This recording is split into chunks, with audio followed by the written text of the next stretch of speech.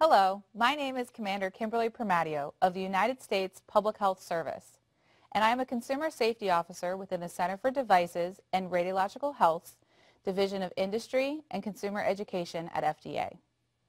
Welcome to CDRH Learn, CDRH's resource for multimedia industry education.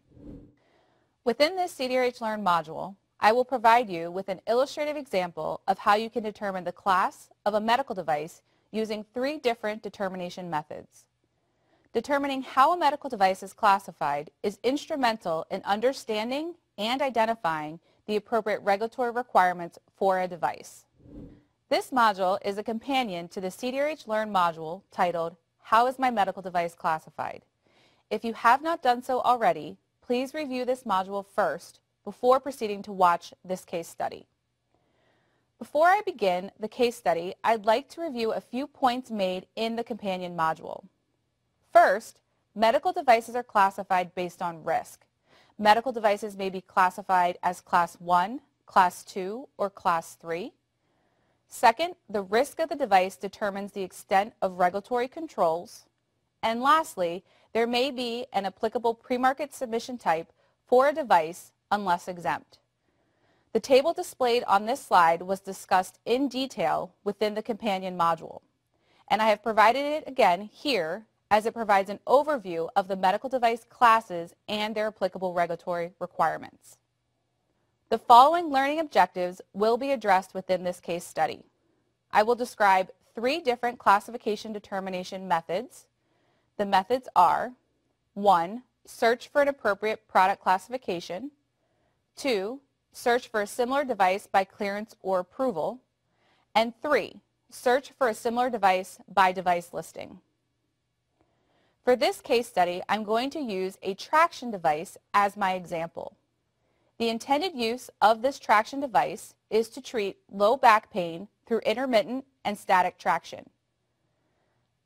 As I mentioned, when determining a device's product classification, there are three methods that I recommend. The first is to directly search for the appropriate product classification. I'll refer to this as method 1, and this is the most common method used.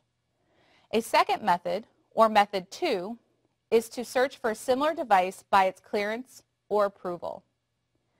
And lastly, method 3 is to search for a similar device by device listing.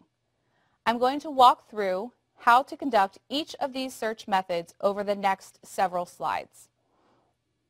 First, we will look at method one. To search for an applicable product classification, I will be searching the FDA's Public Product Classification Database. A screenshot of the product classification database is provided on this slide. You may search the various fields provided, however, I recommend you go to the Quick Search feature, which is circled in red on this slide. From the Quick Search, you can search using a keyword. For this example, I'm going to search using the keyword traction. I would enter the keyword in the search field and select search. I could conduct multiple searches using other words, but I feel this one most appropriately describes the example device. When searching the product classification database, remember to conduct multiple searches using a variety of key terms so that you ensure you capture as many potentially related product classifications, which you can then narrow down. Keep in mind, spelling matters, and I suggest you avoid plurals, and don't be too specific, as this will limit your results. On this slide, you will see a screenshot of my quick search results using the keyword traction. The default display setting for this database is 10 results, so if you wish to expand the number of results displayed per page, you can select the drop-down circled in blue at the top right of the screenshot to change the number of results displayed per page.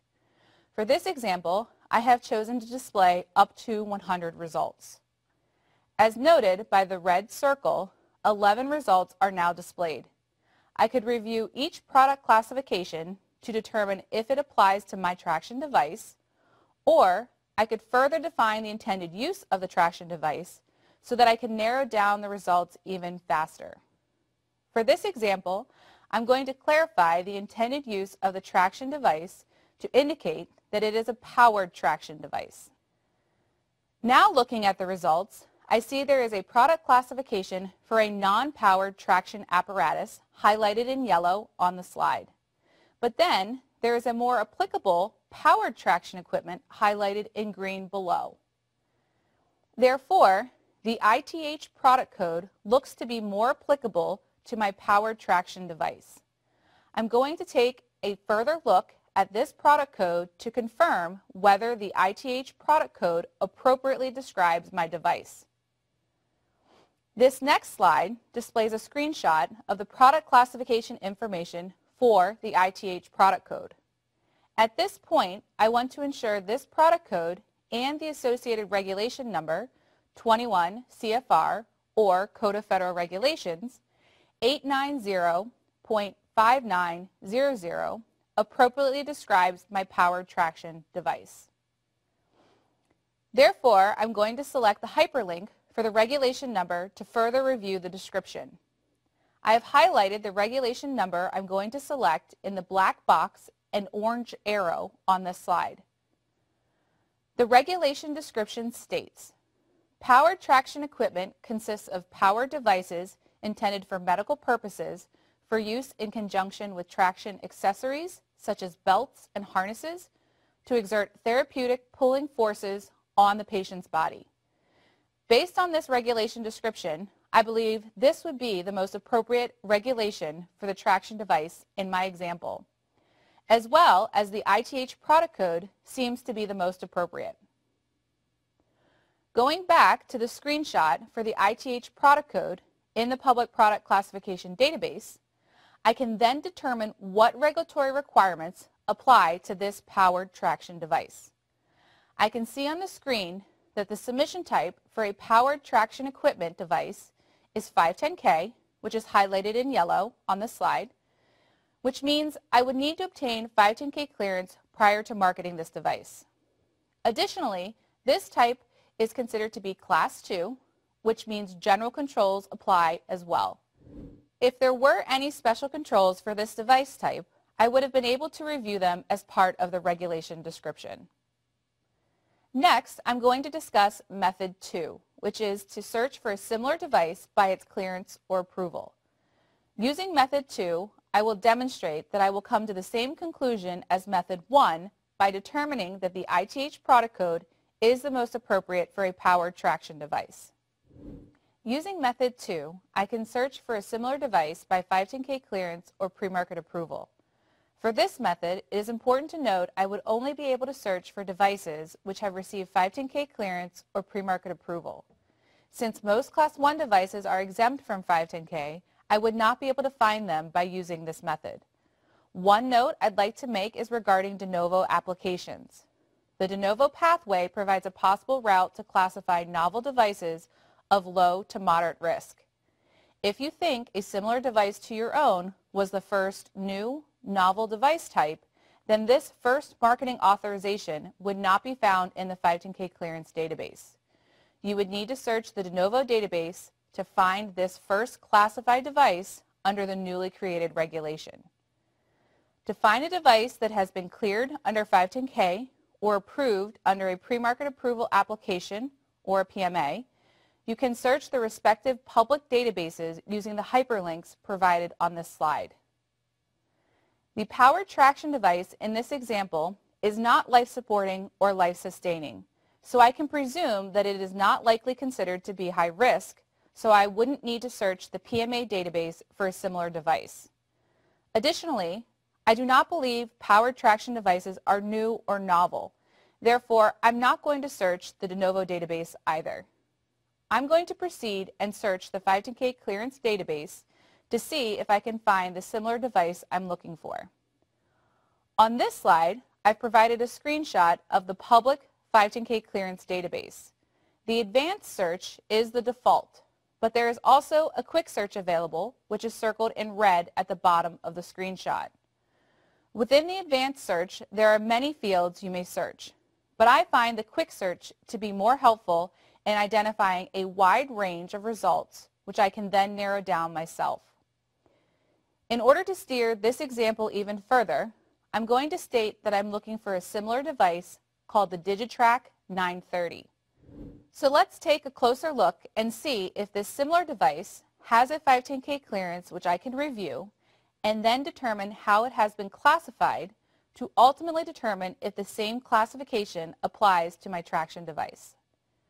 Within the quick search of the 510K clearance database, which is pictured on this slide, I still want to keep my search broad to capture as many results as possible. So I'm going to enter the word traction in the search box. The screenshot provided on this slide shows that by searching the keyword traction, I obtained 93 results, which I've circled in red at the top left, and the first 14 results are displayed. Note, I conducted this search in July of 2019. Therefore, if you were to conduct a similar search after this date, you may obtain different results if a more recent device received 510K clearance. For this example, I said I'm looking for the similar device called the Digitrack 930. After reviewing the first few results, I was able to find a device called the Traction System Digitrack 930 as I've highlighted in green. In order to review more information about this 510K clearance, I could either select the device name or the 510K number hyperlink. I'm going to select the 510K number K052453 as identified by the red arrow. This slide shows detailed information about the 510K that I selected for the Digitrack 930.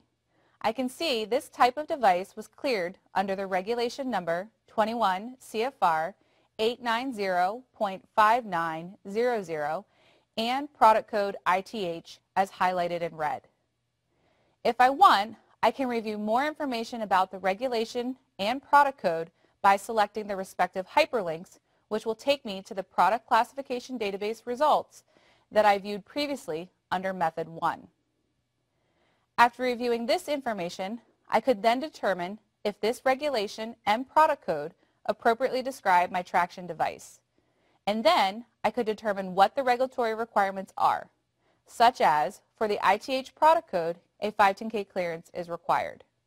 I could also review the 510K summary for the Digitrack 930 to obtain more information on this device's intended use to ensure this is the similar device I was originally looking for. A hyperlink to the 510K summary is highlighted in green on this slide. The last method I recommend for determining the appropriate product classification for a device is method 3, which is to search for a similar device by device listing. This method is useful because establishment registration and device listing are a general control, which means all medical device manufacturers currently marketing a device in the U.S. must be registered and their devices listed. So if I know of a similar device currently being marketed, I can search for it by its listing and see if the same product classification then applies to my example device. A screenshot of the FDA's Public Establishment Registration and Device Listing Database is provided on this slide. Again, the default is the advanced search, which allows me to search by establishment or trade name, or I could search by keyword, again, using the quick search. I'm going to use the quick search. This slide shows the quick search for the Establishment Registration and Device Listing Database. The quick search for this database is very similar to the quick searches in the other public databases I used for the previous methods. I'm going to also search using the keyword traction, as circled in red on this slide, to see what device listings I can find.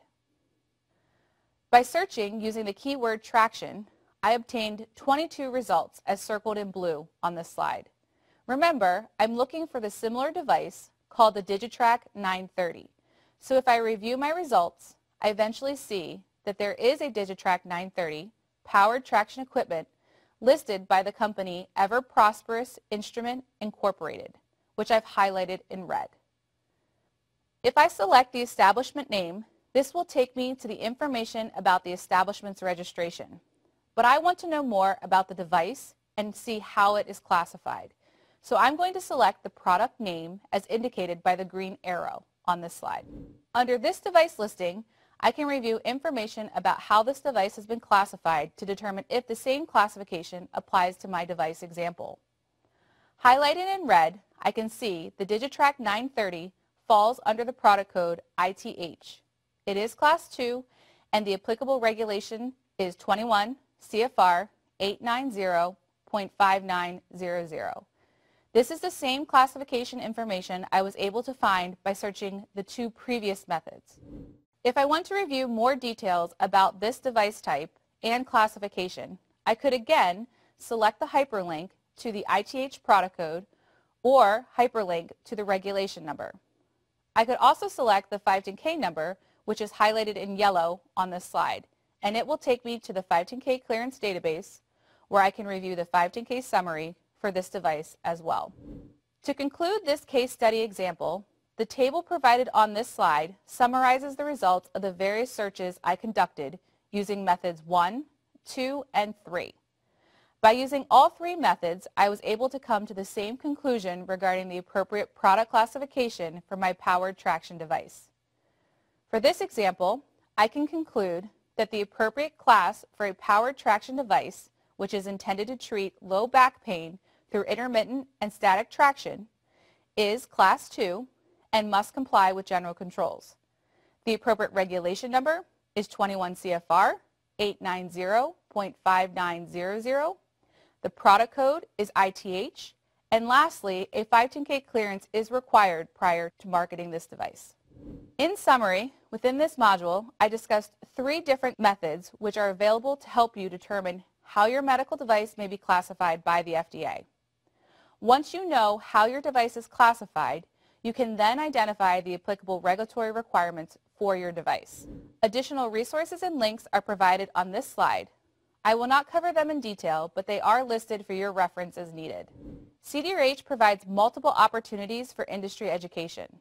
On this slide, I have provided you links to CDRH Learn, which consists of numerous learning modules covering a wide range of medical device topics, as well as Device Advice, which is a text-based resource. And lastly, you may contact the Division of Industry and Consumer Education or DICE by phone or email with questions. My call to action for you is to conduct multiple searches in each of FDA's public databases that I discussed in this module. By conducting different searches in each of these databases, you will be able to cross-check your results, and I hope you will feel more confident when it comes to identifying the most appropriate product classification for your device. Thank you for watching, and I hope you found this module to be informative.